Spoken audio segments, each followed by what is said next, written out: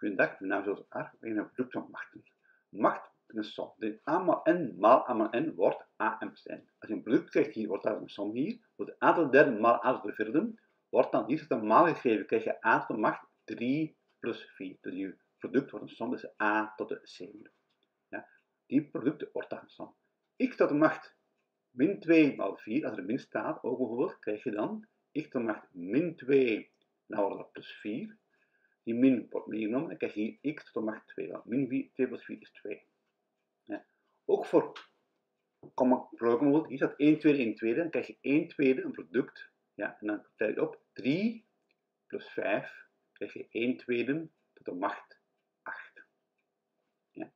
Onthoud dit, hier ook met gebroken in de macht. Hier krijg je 2 in het grondgetal, 2 product van de som, dus 1 tweede plus 3 vijfde.